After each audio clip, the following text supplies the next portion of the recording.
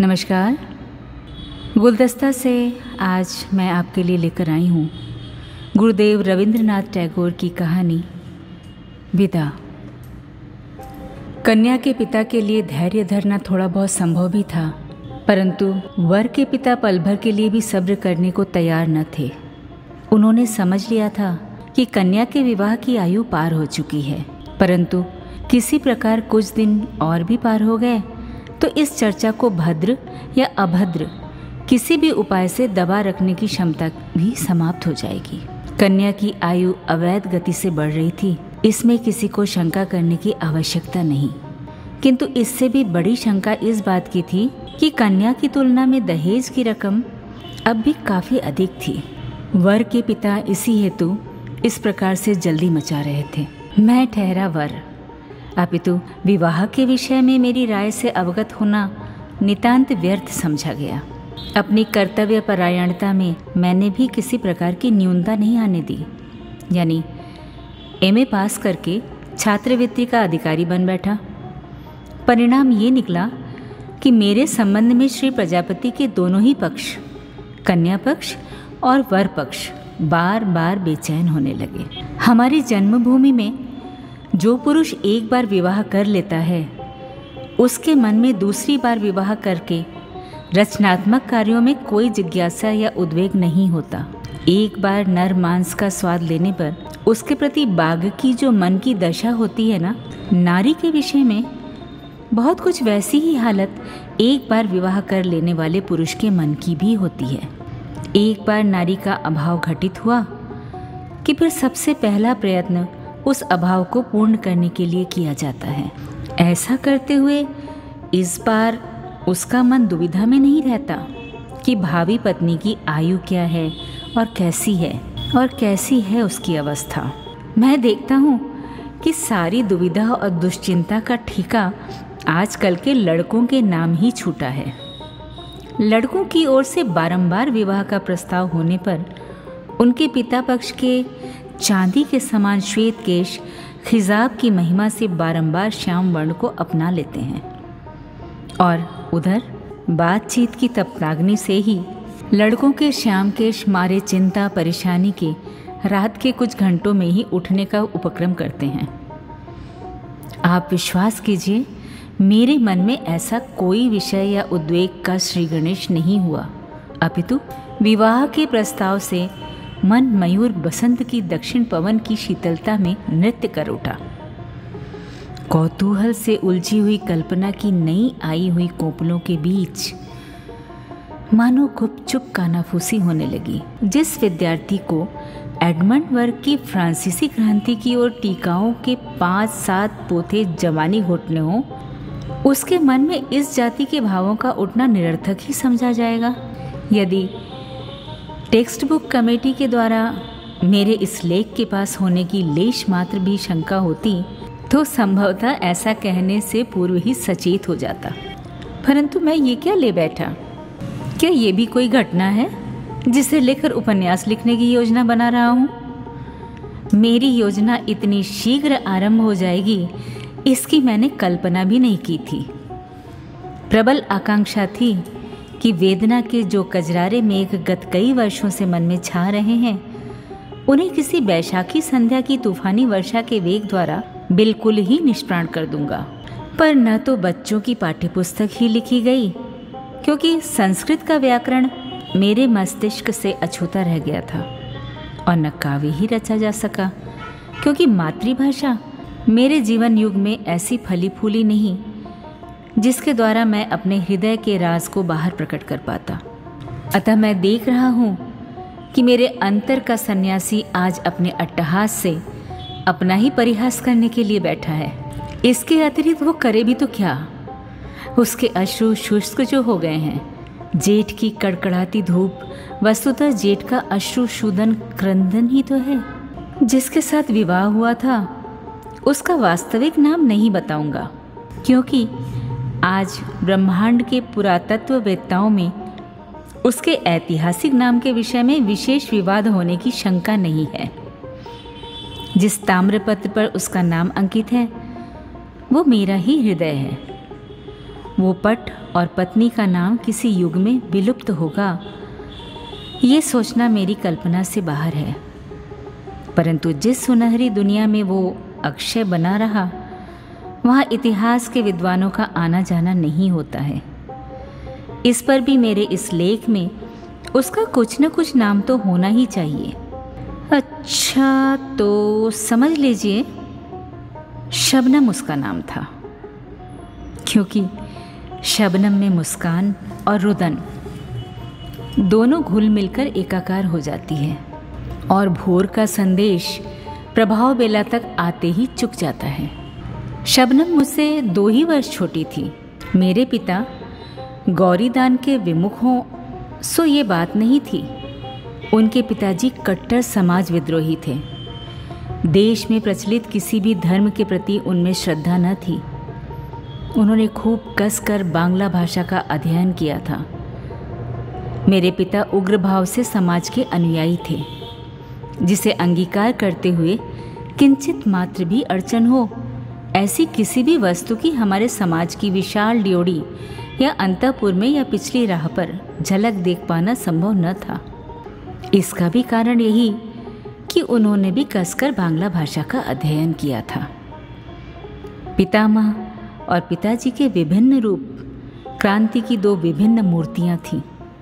कोई भी सरल स्वभाव का नहीं, फिर भी बड़ी आयु वाली कन्या के साथ मेरा विवाह करना पिता ने इसलिए स्वीकार कर लिया कि उसकी इस बड़ी सी आयु की दोनों मुट्ठियों में दहेज की रकम भी बहुत बड़ी थी।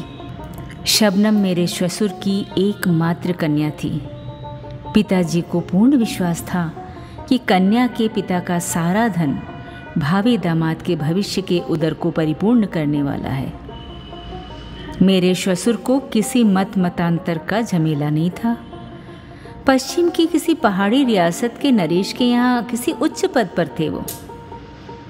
शबनम जब गोद में ही थी, तभी उसकी माँ के प्यार का आंचल उस पर से उठ गया था। इस बात की ओर उसके पिता का ध्यान भी नहीं गया कि पुत्री प्रतिवर्ष एक एक वर्ष करके बड़ी होती जा रही है। वहाँ उनके समाज का कोई ऐसा ठेकेदार नहीं था, जो उनके नेत्रों में अंगुली डालकर इस सच्चाई को उनके हृदय में बिठा देता। शबनम ने यथा समय उम्र के सोलह वर्ष पार कर लिए। किंतु वे स्वाभाविक सोलह वर्ष के थे, सामाजिक नहीं। किसी ने उसे यौवन के प्रति सचेत होने का परामर्श नहीं दिया और न ही उसने स्वयं उस ओर देखा। मैंने 19वें वर्ष में कॉलेज के तृतीय वर्ष में पग रखा। ठीक तभी मेरा विवाह हो गया। समाज, या समाज के ठेकेदार के मत से वो आयु विवाह के उपयुक्त है या नहीं इस विषय में दोनों पक्ष लड़ भिड़कर चाहे खून खराबा कर बैठे। किंतु मैं तो निवेदन के साथ यही कहना चाहता हूँ कि परीक्षा पास करने के हेतु ये आयु जिस प्रकार ठीक है, विवाह करने के लिए भी उससे किसी प्रकार कम नहीं। विवाह का सूत्रपात एक चित्र के द्वारा हुआ था।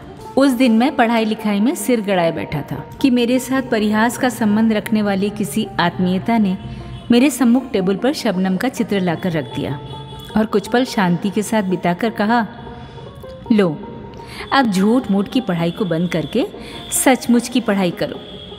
एकदम जी तोड़कर परिश्रम में लगने वाली पढ़ाई। चित्र किसी अनाड़ी चित्रकार द्वारा खींचा गया था। कन्या की माँ नहीं थी। अतः उस दीर्घ श्याम केशों को बाद संवार कर जूड़े में जड़ी कर कलकत्ते की प्रसिद्ध शाह या मालिक कंपनी की भद्दी तंग जैकेट पहनाकर दूसरे पक्ष के नेत्रों में धूल झोंकने का बरबस प्रयत्न नहीं किया गया था। केवल एक सरल भरा हुआ चेहरा था। मृगी सी दो आँखें और सीधी सादी एक साड़ी। तब भी पता नहीं क्यों कोई अपूर्व महिमा सौंदर्य उसे घेरे हुए था। किसी भी एक चौकोर चौकी पर वो बैठी हुई थी। पीछे आवरण के स्थान पर एक धारीदार शतरंजी झूल रही थी। पास में तनिक सी ऊँची तिपाई पर ही फूलों के सुंदर गुलदस्ते दिख रहे थे। ईरानी कालीन पर साड़ी की तिरछी किनार की किंचित अनाबद्ध दो कोमल खाली पैर। चित्र की उस रूप सुधा को जैसे ही मेरे मन के जादू का स्पर्श मिला कि वो मेरे अंतरतम में जाग उठी। वे दोनों कचारी आँखें मेरे सामने चिंतन को चीर कर मुझ पर जाने कैसे अनोखे भाव से आकर स्थिर हो गई। और उस तिरछे किनार के निम्न भाग के दोनों अनावृत पगों ने मेरे अंतर पर्यांसन पर भरबस अपना घर बना लिया। पत्रे की तिथियाँ आई गई हो गई। विवाह के दो तीन लग्न भी बीत गए। किंतु मेरे श्वसुर को छुट्टी मिलने का नाम ही नहीं। इधर कुछ मास से मेरे देखते देखते एक अकाल मेरी इतनी बड़ी अविवाहित उम्र को फिजूल ही उन्नीसवें वर्ष की ओर धकेलने का प्रयास कर रहा था। श्वसुर और उनके अधिकारियों पर मुझे खींच होने लगी। विवाह का दिन ठीक अकाल की पूर्व लग्न पर ही आकर पड़ा। उस दिन की शहनाई की हर तान आज मुझे स्मरण हो रही है। उस दिन के प्रति मुहूर्त को मैंने चेतनता के साथ स्पर्श किया था। मेरी। ये उन्नीस वर्ष की आयु मेरे जीवन में सदैव रहे। मैं उसे कदापि नहीं भुला सकूँगा। विवाह मंडप में चहु और कोलाहल सा फैला हुआ था। उसी के बीच कन्या का कोमल हाथ मैंने अपने हाथों में पाया। मुझे स्पष्ट तरीके से याद है कि यही मेरे जीवन की एक परम आश्चर्यजनक घटना है। मेरे मन ने बारंबार यही कहा। इसे मैंने पाया है, हासिल किया है। किंतु किसे? ये तो ये तो दुर्लभ है। ये नारी है। इसके रहस्य का क्या कभी और छोर पाया जा सकता है? मेरे श्वसुर का नाम गौरी शंकर था। जिस हिमाचल पर वे उच्च पदाधिकारी थे, उसे हिमाचल के मानो मोती थे। उनके गंभीरता के शिखर पर क्षेत्र में कोई प्रशांत स्वच्छ हँसी उज्जवल होकर छाई हुई थी। उनके हृदय के स्नेह स्रोत का संधान जिसने भी एक बार लिया, उसने फिर कभी उनसे संबंध विच्छेद करने की चेष्टा नहीं की।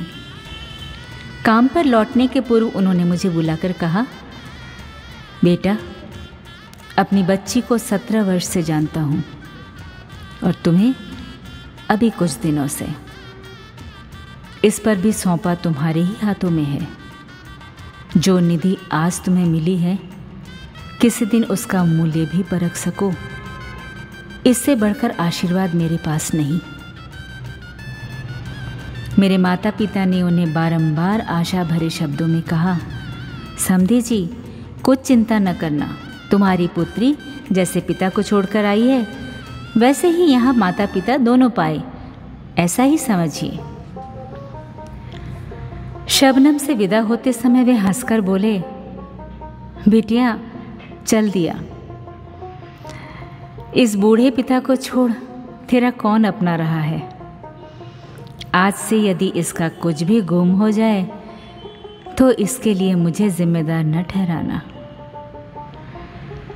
शबनम ने उत्तर दिया क्यों नहीं? यदि कभी इतनी सी चीज़ भी गुम हो गई तो आपको हानि भरनी पड़ेगी। अंत में घर में रहते हुए जिन विषयों पर बहुधा ही झंझट खड़े हो जाते थे, उनसे उनसे पिता को बार बार सचेत कर दिया। भोजन के विषय में अनियम का उन्हें खासा अभ्यास था। कुछ विशेष प्रकार के अपत्य भोजन पर उनकी विशेष रुचि थी। पिता को उन सारे प्रलोभनों से यथासंभव दूर रखना बेटी का विशेष कर्तव्य था। इसी से वो पिता का हाथ पकड़कर बोली बाबूजी, क्या मेरी एक बात रखेंगे? पिता ने प्रफुल्लित मन से कहा मानव इसलिए वचन देता है कि एक दिन उसे भंग कर चैन की सांस ले सके। इससे वचन न देना ही श्रेयस्कर है। फिर वह कुछ न बोली और पिता के चले जाने पर उसने कमरे के द्वार बंद कर लिए। इसके बाद की घटना का बखान अंतर्यामी ही कर सकते हैं। पिता पुत्री की अश्रुहीन विदाई का दृश्य, पार्श्व के कक्ष की चिर कौतूहली अंतपुरिकाओं ने देखा, सुना और आलोचना की, कैसी अजीब बात है भला। रूखी सूखी ज़मीन पर रहते रहते इन लोगों का हृदय भी सूख कर कांटा हो गया है। माया, ममता का चिन्ह लेश मात्र भी नहीं रहा। राम राम राम। मेरे ससुर के मित्र बनमाली बाबू ने ही हमारी बातचीत पक्की की थी। वे हम लोगों के परिवार से भली भांति परिचित थे। वे मेरे ससुर से बोले, बेटी को छोड़कर तो तुम्हारा दुनिया में कोई नहीं है। यहीं इनके पास ही कोई मकान लेकर ज़िंदगी के शेष दिन काट डालो। उत्तर मिला, जब दान दिया है तो निशेष करके ही दे डाला है। फिर लौट लौट कर निहारने से उसकी पीड़ा बढ़ेगी। जिस अधिकार को एक बार त्याग चुका, उसे बार बार बनाए रखने के प्रयत्न से बढ़कर विडंबना और क्या होगी? अंत में मुझे एकांत में ले जाकर किसी अपराधी की तरह सकुचाते हुए बोले, बिटिया को पुस्तकें पढ़ने का बड़ा चाव है और लोगों को खिलाना पिलाना उसे बहुत अच्छा लगता है। यदि बीच बीच में तुम्हें रुपए पैसे भेज दिया करूँ, इससे वे नाराज़ तो नहीं होंगे ना? सुनकर मुझे तनिक आश्चर्य हुआ। कारण, जीवन में कभी किसी भी ओर से धनराशि मिलने पर पिताजी नाराज़ हुए हो, उनका ऐसा बिगड़ा मिजाज तो मैंने कभी नहीं देखा। जो हो, मेरे ससुर मानो मुझे घूस दे रहे हो, कुछ ऐसे ही भाव से मेरे हाथों में सौ रुपए का एक नोट थमाकर वे वहाँ से चटपट चल दिए। मैंने देखा इस बार जेब से रुमाल निकालने की बारी आ ही गई। स्तब्ध होकर मैं विचारों में खो गया। मैंने अनुभव किया कि ये लोग बिल्कुल ही अन्य जाति के मानव हैं। मैंने सहपाठियों में कितनों ही को तो विवाह करते हुए देखा है। विवाह मंत्रों के उच्चारण के साथ साथ स्त्री को एक बारगी कंठ के निम्न भागों में उतार लेते हैं। हजम करने के यंत्र तक पहुँचने पर थोड़ी देर के बाद वह पदार्थ अपने गुणों एवं अवगुणों का हल कर सकता है और इसके फलस्वरूप हृदय के भीतर चिंता बनकर हलचल भी आरंभ हो सकती है। सो होती रहे। परंतु निगलने के रास्ते में इससे कोई रुकावट नहीं पड़ती। किंतु मैंने विवाह मंडप में ही समझ लिया था कि पाणी ग्रहण के मंत्र द्वारा जिसे प्राप्त किया जाता है, उससे घर गृहस्थी तो भली भांति चल जाती है। परंतु उसके हृदय को पूर्ण रूपेण पाना पंद्रह आना बाकी रह जाता है। मुझे संदेह है कि विश्व के अधिकांश पुरुष पत्नी को ठीक ठाक पाते हैं या उनको समझते हैं। वे स्त्री को ब्याह कर ले आते हैं, किंतु उपलब्ध नहीं कर पाते और न कभी उन्हें इस बात का एहसास हो पाता है कि उन्होंने पाया कुछ भी नहीं। उनकी पत्नियाँ भी मृत्यु काल तक इस कटु सत्य से अवगत नहीं हो पाती, लेकिन मैंने ऐसा अनुभव किया। कि वो मेरी साधना की निधि है। वो अचल संपत्ति नहीं संपदा है अगाध रत्न राशि है शबनम। हम्म, नहीं इस नाम से काम नहीं चलेगा। एक तो ये कि वो उसका वास्तविक नाम नहीं और न ये उसका यथार्थ परिचय है। वो तो दिवाकर की तप्त रश्मि है। क्षयकालीन उषा की विदा बेला के अश्रुओं का बिंदु नहीं। नाम को गोपनीय रखकर ही आखिर क्या होगा? उसका वास्तविक नाम था हेमंती। मैंने देखा, सत्रह वर्ष की इस सुंदरी पर यौवन का पूरा आलोक बिखरा हुआ है। तब भी इस अवस्था की गोद में भी उसे चेतनता नहीं मिली है। हिमाच्छादित शिखर पर भोर का उजाला तो झलक उठा है, किंतु हिम अभी तक गल नहीं पाया है। कैसी निष्कलंक शुभ्र है वो, कैसी पवित्र प्रतिमा। ये मैं नहीं जानता हूँ। मेरे मन में बराबर ये शंका बनी रहती थी। इतनी पढ़ी लिखी शिक्षित लड़की का मन पता नहीं क्यों कर पा सकूँगा। किंतु कुछ ही दिवसों के उपरांत मैंने जान लिया कि उसके मन की राह और शिक्षा की राह आपस में कहीं कटी ही नहीं। कब उसके सरल शुभ्र मन पर हल्की सी रंगीनी छा गई, नेत्र, अलस तंद्रा में झूम उठे और देह मन मानो उत्सुक हो उठे। सो निश्चिंतता के साथ कह देना मेरे लिए कठिन नहीं अभी तो असंभव है। ये तो हुई एक पक्ष की बात। लेकिन अब दूसरा पक्ष भी है। वो और उसके विषय में पूर्ण रूप से कहने का समय अब आ पहुँचा है।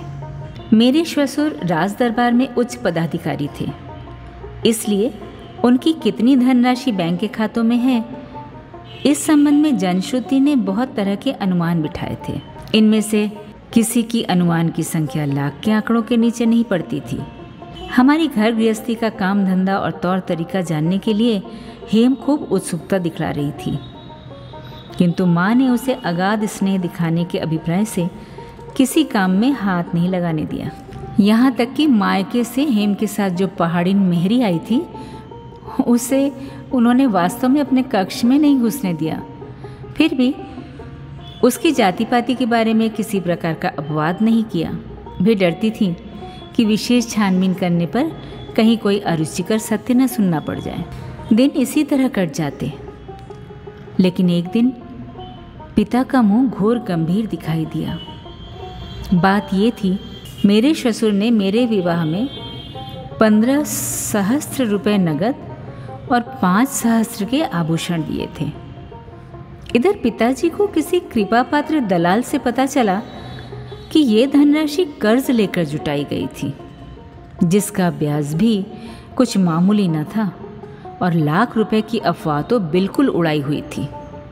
वास्तव में मेरे विवाह के पूर्व श्वसुर की संपत्ति के परिणाम के विषय में पिताजी ने भी उनकी कोई आलोचना नहीं की थी।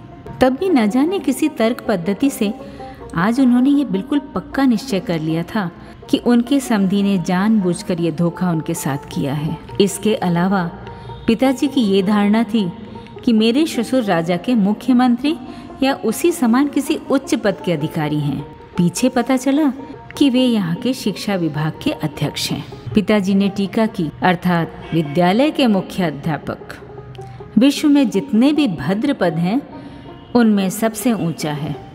पिताजी ने बड़ी बड़ी आशाएँ कर रखी थी कि आज नहीं तो कल ससुर के अवकाश प्राप्त करने पर राजमंत्री के पद पर वे स्वयं ही प्रतिष्ठित होंगे। इन्हीं दिनों के कार्तिक मास में रामलीला के उपलक्ष्य में हमारा जन्मभूमि का सारा परिवार कलकत्ते वाली हवेली में आ जुटा। वधु को देखते ही उनमें एक छोर से दूसरे छोर तक कानाफूसी की लहर दौड़ गई। क्रमशः अस्फुट हुई।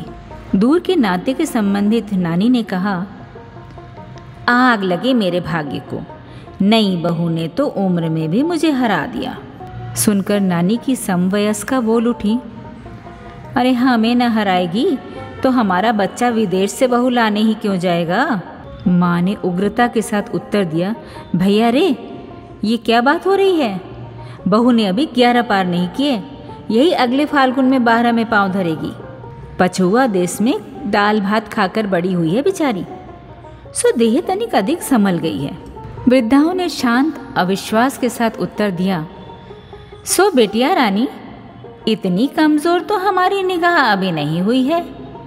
हमारे ख्याल से तो लड़की वालों ने ज़रूर उम्र कुछ दबा कर बताई है। माँ ने कहा, हम लोगों ने जन्म पत्री देखी है।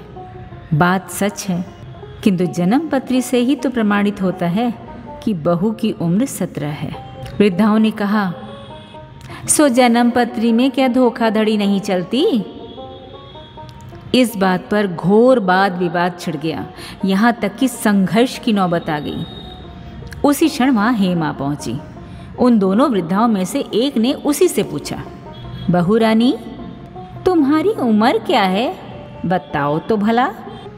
माँ ने आँखों से संकेत किया, परंतु हेम उनका मतलब नहीं समझी। बोली, सत्रह। माँ तिलमिला उठी। उसने उसी अवस्था में कहा, तुम्हें मालूम नहीं है? हेम विरोध प्रदर्शन करते हुए बोली, मुझे ठीक मालूम है, मेरी उम्र सत्रह है। वृद्धाओं ने गुपचुप एक दूसरे के हाथ दबाए। बहू की मूर्खता पर खींच कर माँ बोली, तुम्हें तो सब मालूम है, लेकिन तुम्हारे बाबूजी ने हमसे खुद कहा कि तुम्हारी उम्र ग्यारह है।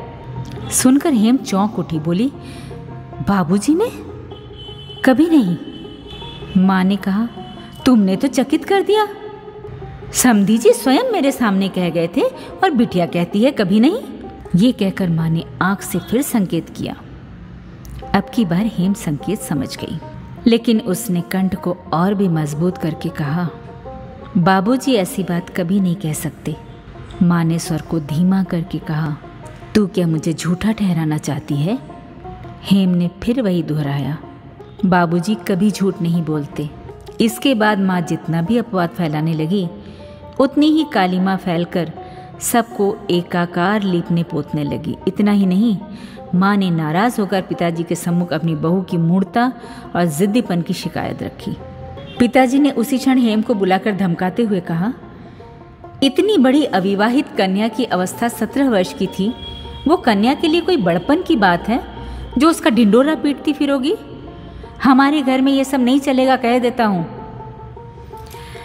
हाय रे भाग्य, बहु रानी के प्रति पिताजी का यह मधु मिश्रित पंचम स्वर, इस प्रकार उस्ताद बाज खां के घोर शटर्स तक कैसे उतर आया?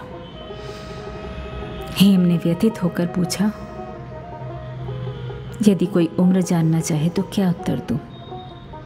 पिताजी बोले, झूठ बोलने की आवश्यकता नहीं, कह दिया करो, मुझे नहीं पता। मेरी सास माँ जानती हैं।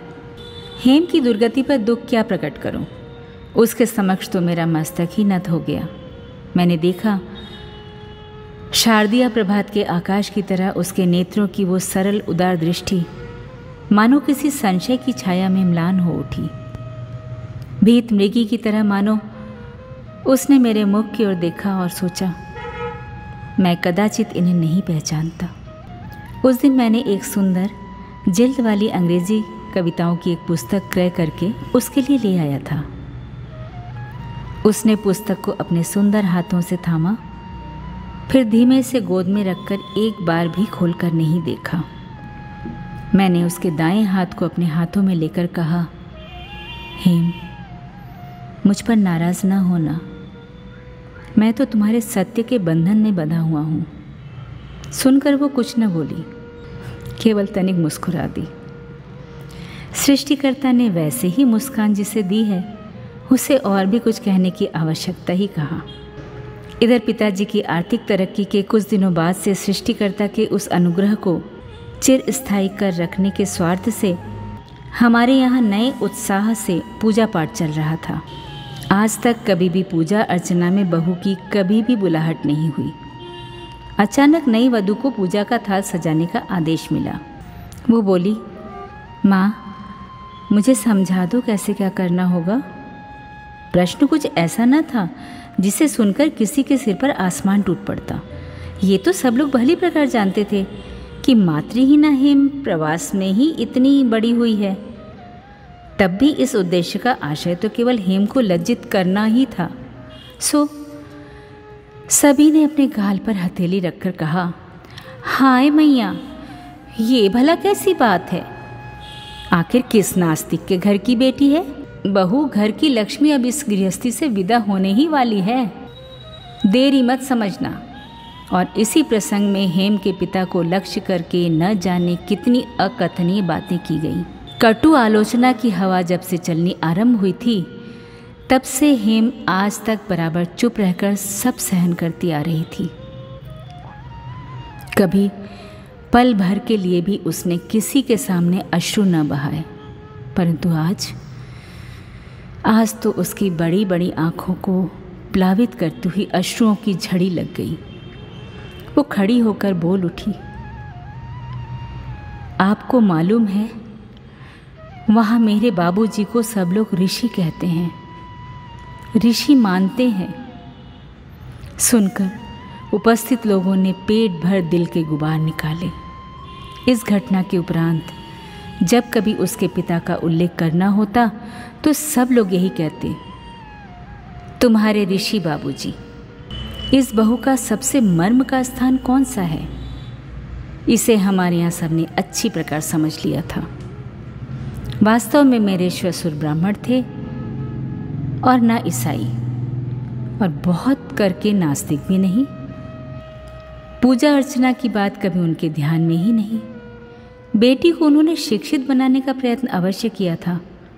कितने ही उपदेश भी दिए थे, किंतु सृष्टिकर्ता के संबंध में कोई उपदेश नहीं दिया। इसी बारे में पूछने पर उन्होंने इतना ही कहा, जिस विषय को मैं स्वयं नहीं जानता, उसे सिखलाना केवल कपट ही होगा। ससुराल में हेम की एक सचमुच की भक्तिन थी। मेरी छोटी भगिनी नारायणी, वो अपने भाभी को बहुत स्नेह करती थी। उसके लिए उस बेचारी को काफ़ी प्रताड़ना सहनी पड़ती थी। घर में हेम के अपमान की कहानी मुझे उसी से सुनने को मिलती थी। हेम के मुँह से कभी किसी दिन भी सुनने को नहीं मिला। लज्जा का आवरण उसके अपने लिए नहीं था, अपितु मेरे लिए ही था। बाबूजी के पास से वो जो पाती वो मुझे पढ़ने के लिए दे देती। ये पत्र छोटे होने पर भी रस से भरपूर होते थे। वो स्वयं भी उनको जब कभी पत्र लिखती तो मुझे अवश्य दिखा देती। बाबूजी के साथ उसका जो नाता था, उसमें अपने साथ मुझे भी बराबर की भागी बनाए बिना उसका दाम्पत्य पूर्ण जो नहीं हो पाता। उसके इन पन्नों में ससुराल के संबंध में किसी प्रकार की शिकायत का आभास मात्र भी नहीं। यदि होता भावी आशंका की संभावना थी। कारण, नारायणी से मैंने सुन लिया था कि जाँच के लिए बीच में उसके पत्र गोपनीय रीति से खोल लिए जाते हैं। इन पत्रों में उसका कोई भी दोष सिद्ध न होने से ऊपर वालों का मन शांत हो, सो बात नहीं, बल्कि आशा टूटने का दुखी संभवतः उन्हें ज़्यादा टिसा करता था। इसलिए उन्होंने चिढ़कर कहना शुरू कर दिया कि आखिर इतनी जल्दी जल्दी पत्र डालने की ही भला कौन सी ज़रूरत है? मानो बाबा ही सब कुछ है। हम लोग क्या कोई नहीं? और इसी प्रकार की अनेक अरुचिकर बातों का तांता शुरू हो गया। मैंने शुद्ध होकर हेम से कहा, तुम बाबूजी को पत्र लिखती हो, वो किसी और को ना देकर मुझे ही दे दिया करो। कॉलेज जाते समय राह में छोड़ दिया करूँगा। हेम ने चकित होकर पूछा, क्यों? मैंने संकोचवश कोई उत्तर नहीं दिया। किंतु हवेली में सबने कहना आरंभ कर दिया कि अब लड़के के सिर चढ़ना शुरू हुआ है। बीए की उपाधि अब ताक पर धरी रहेगी। आखिर उस बेचारे का भला दोषी क्या है? सो तो है ही। दोष किसी का है तो वो बेचारी हेम का। उसकी उम्र सत्रह वर्ष की है। वो उसका पहला दोष है।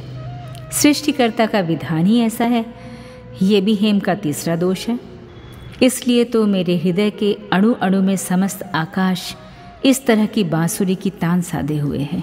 बीए की उपाधि को निर्विकार भाव से मैं चूल्हे में फूंक सकता था। किंतु हेम के कल्याण के लिए मैंने प्रण किया। मैं अवश्य उत्तीर्ण होऊँगा और अच्छे अंकों से। दो कारणों से मुझे अपने प्रण को पूरा कर पाने का भरोसा था। एक तो हेम के अगाध स्नेह में ऐसा आकाशव्यापी विस्तार था कि वो मन को संकीर्ण आसक्ति में फंसाकर नहीं रखती। उस स्नेह के आसपास कोई खूब स्वास्थ्यवर्धक वायु बहा करती थी। दूसरे, परीक्षा की पुस्तकें कुछ ऐसी थीं, जिन्हें हेम के साथ साथ पढ़ना असंभव न था। सो मैं कमर कसकर परीक्षा पास करने के उद्योग में जुट गया। एक दिन रविवार की दोपहरिया में बाहर के कमरे में बैठा हुआ मैं मॉर्टिन की आचार शास्त्र वाली पुस्तक की खास खास पंक्तियों के मध्य के पद को चीरते हुए लाल पेंसिल का हल चलाया जा रहा था। कि अचानक सामने की ओर मेरी दृष्टि जा पहुँची। कमरे के सामने आँगन की उत्तर की ओर अंतपुर को जाने वाली एक जीना था। इसी बंद जीने के बाहर की तरफ़ सीकजेदार खिड़कियाँ थीं। मैंने देखा कि हेम उन्हीं में से किसी एक खिड़की के पास पश्चिम की ओर निहारती हुई चुपचाप बैठी है। उस ओर मल्लिक की बगिया है। जिसमें कचनार का पेड़ गुलाबी पुष्पों के भार को संभाले हुए खड़ा है। इस भाषाहीन गहरी वेदना के रूप को आज तक इतने सुस्पष्ट भाव से मैंने कभी नहीं देखा था। खास कुछ भी नहीं, अपने कमरे में से मैं किंचित पीछे की ओर दीवार के सहारे टिके, उसके सिर के भंगी भाव भली भांति देख पा रहा था। मेरा अपना जीवन इस तरह लबालब भर गया था कि किसी प्रकार की भी कोई शून्यता मैंने आज तक देखी ही नहीं थी। आज अकस्मात अपने बिल्कुल ही पार्श्व में मैंने किसी बहुत निराश का घना गढ़ा देखा था। इस तलहीन गर्द को मैं क्यों कर, कैसे पूरा कर सकूँगा? मुझे तो जीवन में कुछ भी छोड़ना नहीं पड़ा। न घर, न द्वार और न आज तक किसी प्रकार का अभ्यास ही, लेकिन हेम को? हेम को तो सभी को छोड़कर और दूर चलकर मेरे पास आना पड़ा। इसका परिणाम कितना अधिक है, सो मैंने भली भांति सोचा भी नहीं। हमारे घर में अपमान के कांटों की सेज पर वो बैठी है। उसको हमने आपस में विभक्त कर लिया है। उस वेदना के आसव को हम दोनों ने एक साथ ही पिया था। इसलिए हम दोनों एक दूसरे के निकट थे। परंतु हिमाचल में पली हुई ये गिरिनंदिनी सत्रह वर्ष की लंबी अवधि तक अपने बाह्य और अंत जीवन में कैसी विशाल युक्ति के मध्य पली थी। कैसे कठोर सत्य और उदार आलोक में उसकी छवि एवं प्रकृति इस प्रकार स्वच्छ और सबल हो चुकी है। उस सारे वैभव से आज हेम का नाता किस प्रकार निष्ठुरता के साथ तोड़ दिया गया है। इस बात का आज से पूर्व मैंने कभी अनुभव नहीं किया था। कारण, उस स्थान पर हेम के साथ मेरा आसन बराबर का न था। वो तो अंदर ही अंदर पल पल तिल तिल करके मृत प्राय सी होती जा रही थी। उसे मैं सब दे सकता था। किंतु मुक्ति नहीं। मुक्ति मेरे अंतर में ही कहाँ है? इसी हेतु कलकत्ता की इस सकरी गली में, खिड़की के सिंकचों के भीतर से मूक आकाश के साथ उसके मूक मन की बातचीत हुआ करती। किसी दिन रात को उठकर मैंने देखा, वो बिछौने पर नहीं है। हाथों पर सिर को थामकर तारों से भरपूर आकाश की ओर मुँह उठाए, वो छत पर लेटी है। मार्टिन का चरित्रता का बखान वहाँ पड़ा रह गया। मैं सोचने लगा कि मेरा कर्तव्य क्या है? बाल्यकाल से ही पिताजी के साथ मेरे संबंध में मेरे संकोच की सीमा न थी। समक्ष होकर भी कभी उनसे किसी वस्तु के लिए प्रार्थना करने की न तो मेरी आदत ही थी और न साहस ही। किंतु आज मुझसे न रहा गया। लाज और संकोच को ताक पर धर कर मैं उनसे कह ही बैठा। उसकी तबीयत आजकल कुछ अच्छी नहीं है। सो एक बार बाबूजी के यहाँ भेज देना ही अच्छा होगा। सुनकर पिताजी चकित रह गए। उनके मन में इस बात का तनिक भी संदेह न रहा कि हेम ने ही मुझमें इस अभूतपूर्व साहस का बीजारोपण किया है और अच्छी प्रकार से सिखा पढ़ा कर यहाँ भेजा है। वे तत्काल ही उठकर अंतपुर में गए और हेम से पूछा, बहू तुम्हें क्या नई बीमारी है, बताना तो भला। हेम ने सिर झुकाकर उत्तर दिया, कहाँ? बीमारी तो कुछ भी नहीं है। पिता ने सोचा उत्तर तेज दिखाने के लिए है। किंतु हेम, जो प्रतिदिन सूखती जा रही थी, सो नित्य प्रति देखते रहने के कारण हम लोग समझ नहीं पाते थे। एक दिन बनमाली बाबू ने उसे देखा तो चौंक पड़े। वे बोले, हैं? ये क्या? तेरा मुख ऐसा कैसा हो गया है, हेम? बीमार तो नहीं हो? हेम ने कहा, नहीं। परंतु इस घटना के दस दिन बाद ही अकस्मात मेरे ससुर आ पहुँचे। अवश्य ही बनमाली बाबू ने हेम की तबीयत की बात लिखी होगी। विवाह के उपरांत पिता से विदा होते हुए हेम ने अपने अश्रु रोक लिए थे। किंतु आज, जैसे ही उन्होंने उसकी ठोड़ी छूकर मुँह को ऊपर उठाया तो अश्रुओं का बाँध टूट गया। उसकी भीगी पलकों ने सब कुछ बता दिया। वो बाबूजी को मुख से आधी बात भी न कह सकी। वे इतना भी न पूछ पाए कि तू कैसी है। बेटी की क्षीण गति, म्लान मुख और पलकों को देखते ही उनकी छाती टूक टूक हो गई। हेम, बाबूजी का हाथ पकड़कर उन्हें शयन कक्ष में ले गई। कितनी बातें तो पूछने की है। बाबूजी की तबीयत भी तो ठीक नहीं दिखाई देती। हेम बाबूजी के साथ मायके जाने के लिए उद्यत हो गई। बनमाली बाबू ने भी समधी जी से इस बात का संकेत किया। लेकिन अंततः बात पिताजी की ही रही। उसके आगे हेम की आकांक्षा कुचल दी गई। बाप बेटी को विदा करने की बेला फिर एक बार आ पहुँची। बेटी ने नीरव और शुष्क मुस्कान को पीले मुख पर डालते हुए कहा बाबूजी, यदि फिर कभी आपने मेरे लिए पागलों की भांति बेतहाशा दौड़ते हुए इस हवेली में कदम रखा तो मैं दरवाज़ा बंद कर लूँगी। बाबूजी ने उसी मुद्रा में उत्तर दिया, बेटी, भाग्य में फिर आना लिखा तो साथ में सेंध लगाने के औज़ार भी लेता आऊँगा। इसके बाद हेम के मुख की वो मुस्कान फिर कभी देखने को नहीं मिली। फिर क्या हुआ? सो मुझसे कहा नहीं जाएगा। सुनता हूँ। माँ फिर उपयुक्त वधु की खोज में है।